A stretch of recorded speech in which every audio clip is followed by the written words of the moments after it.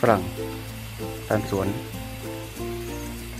อันนี้มาตัดแต่งกันหน่อยครับเดี๋ยวเราจะมาทำผลฝรั่งกันนะครับ จากต้นที่ ไม่ยอมให้ผลผลิตเลยครับ หลังจากแต่งเอาไว้นานแล้ว เมื่อตอนเช้าก็อัดปุ๋ยคอกไปนะครับ เดี๋ยว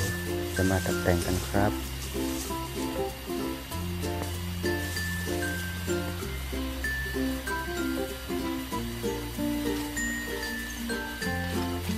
ตัดกิ่งหนอแบบนี้ออกเลยเราจะเหลือไว้แค่ยอดเดียวนะครับสำหรับการทำให้เกิดยอดใหม่นะเดี๋ยวจะทำให้มีผลผลิตกันนะครับ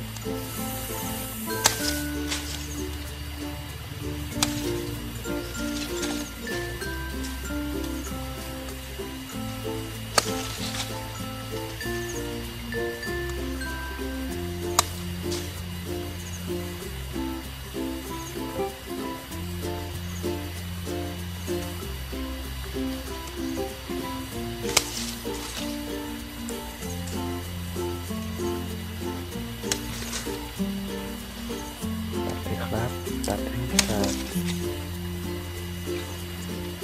กิ่งนอแบบนี้ เราจะไม่เอาไว้นะครับ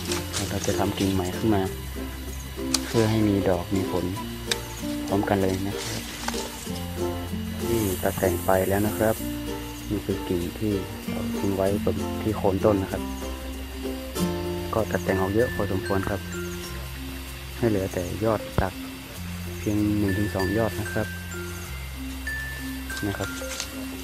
ให้เหลือเพียงยอดเดียวแล้วเดี๋ยวครั้งหน้าผมจะมาทำการโน้มกิ่งนะครับโน้มกิ่งเพื่อลดอิทธิพลของออกซิน ซึ่งเป็นฮอร์โมนที่ทำให้เกิด การเจริญเติบโตทางยอดนะครับทำให้ตาข้างไม่แตกแล้วก็ทำให้เกิดดอกหรือผลน้อยตามนะครับ เดี๋ยวมาโน้มกิ่งกันครั้งหน้านะครับ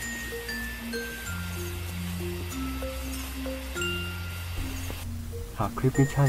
โปรดกดไลค์ กดแชร์ และกด Subscribe เพื่อเป็นกำลังใจให้กับคนทำคลิปต่อไปด้วยครับ ขอบคุณครับ